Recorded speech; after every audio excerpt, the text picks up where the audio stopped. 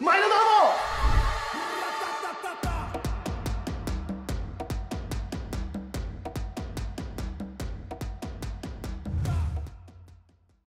ようでございます。万波中世外野手、万中が、今度はベストナインに輝きました。うわー、ゴールデングラブに続いて、まだまだ大きな、もうほんとビッグビッグタイトルですよね。うん、外野手として、本当に、あの、世の中が、プロ野球ファンの方が、そして記者の方が、もう、周りの野球関係全ての人が認めるタイトルですよ。ああ、もうまるで、万中おめでとうなんて言いたいぐらいの気持ちやわ。ゴールデングラブ、守備に特化して、守備のエキスパートを投票で選んでいく、そのタイトルで、万波中正は、えー、守備範囲もそう、強肩もそう、新しい球場でどれだけ、こう、ランナーを先の塁に行かせなかったか、えー、そういうね、えー、守備のエキスパートとしてゴールデングラブを獲得した。これも誉れなことですけどもね。今度はベストナイン。ベストナインということは、2023年度、パシフィックリーグの各ポジション別選手の中で、あなたが一番輝いてましたよ。一番強い選手ですよっていうことですよね。外野手さんに、うん。で、内野手それぞれポジション、ピッチャーもキャッチャーも含めてね、ほんで DH とベストナインっていうのがあるんですよ。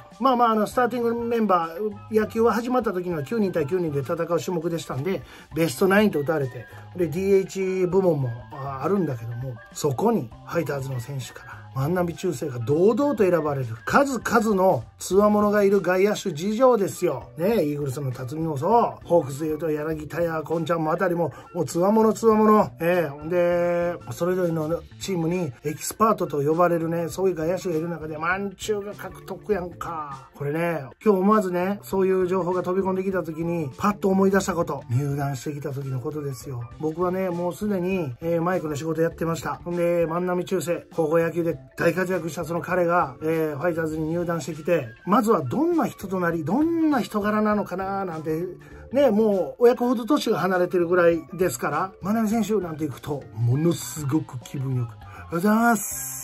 あざーすぐらいの今時なんですよ。それがね、もう、もうファイターズにユニフォーム着た時点で、まあ僕からすると可愛い後輩に値する。その選手が、あざーすよろしくお願いします。いつも見てます。みたいな。好印象やったね。うん。ヒーローインタビューもそうやないですか。ありがとうございます。みたいな。決してこう、固まらないというのうん。自然体で何事にも挑むその彼に、えー、ハート掴まれた人いっぱいいるんじゃないかな。で、そこからね、数年間ファームで揉まれて揉まれて、初めはね、あのー、もう本当に高めの速い球と低めの変化球、そのコンビネーション食らうとどうやってもミートするのが難しかった。もがいてた。なので、もう何、前に倒れ込んだようなボールを追いかけていきすぎて、いいとこファール。でも結果三振という打席がものすごい続いてた。でも揉まれとけ、揉まれとけ。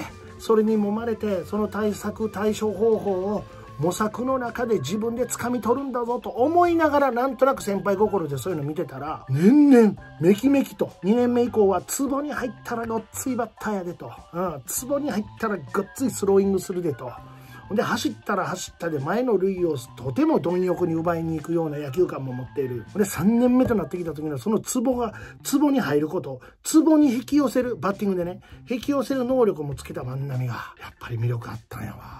で、着々と。で、まずはね、これ不思議なもんでね、いい選手やな。2軍スタートする、えー、キャンプなどで、でドリル練習で取り組む姿勢などを見る。ほんで、その取り組んでいる、ドリル練習している、反復練習している中で、根気強さ、ほんで、体力、うん。で、言うたらもう我慢強さまで見るんですよ。で、そこで、あ、ちょっと次のレベルのテクニックを教えたいなと首脳陣が思った時に、また違った首脳陣たちの着手が始まり、で、どんどんどんどん技術を身につけていく。またドリル練習がやってくる。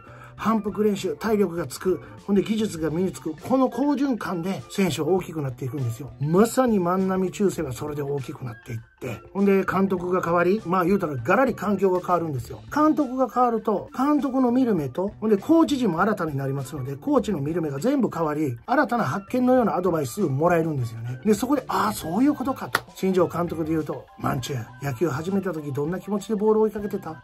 楽しかったろ？楽しくやろうぜ。楽しく楽しくその野球に取り組んで気がついたら上手くなってる選手でいいじゃないのかということで彼は本当に球場でね笑顔とともに本当に楽しそうにボールを追いかけてましたよ。でもね、実際ね、試合に出ながらチームが最下位になると、このままじゃいかんと思うわけ。うん、選手ってみんなそう。だって活躍しても優勝しないと給料も上がらないし、あの、プロ野球、プロの選手として自分の価値とは優勝できる選手なのか、などなど、いろんなこう自問自答が入ってくるんですよ。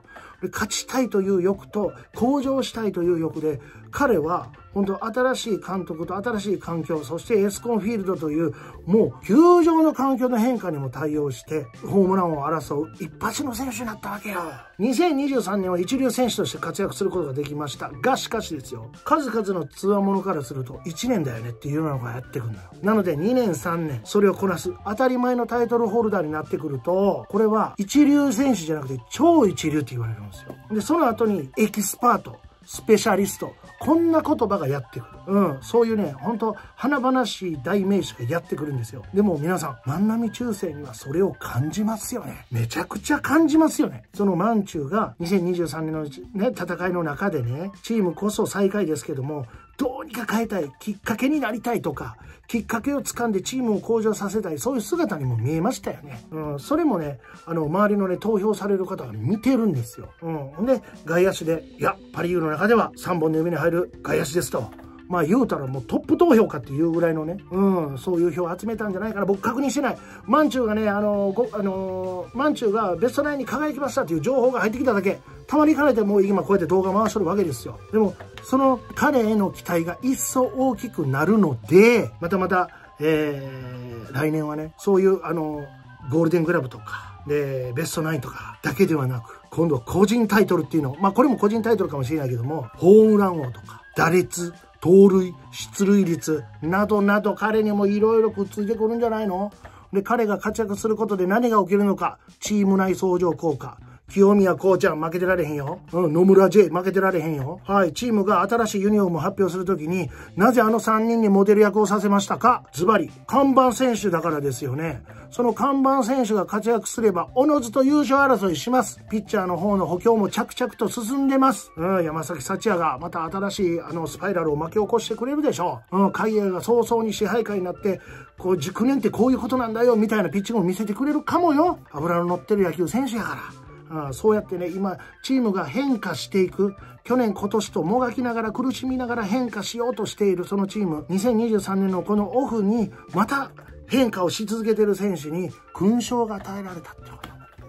嬉しいね。よう喋るな、岩本も。うん。もうこんな嬉しいニュースは、もう岩本ずっと喋り続けたい。マンチュもう一個言うていいか？あなたの素晴らしいとこ。挨拶がめちゃくちゃ気持ちいいのよ。あの、うだーすってこう、ナチュラルに聞こえるけども、ちゃんとそれができる人で、あなたいつも目見て挨拶してくれるやん。球場でも放送席から、マンチューやったら言わせですってやってくれるやん。ああいうのも気持ちいいわ。ああ。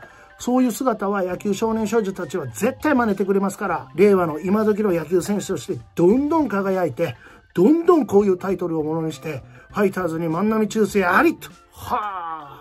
そんな大きな野球選手になってください。秋山浩二さん、そういう大きな野球選手を超えるようなね、えー、ポテンシャル持ってると思いますので、えー、そういう輝かしい選手になってくださいよ。まず思ってはおめでとうございます。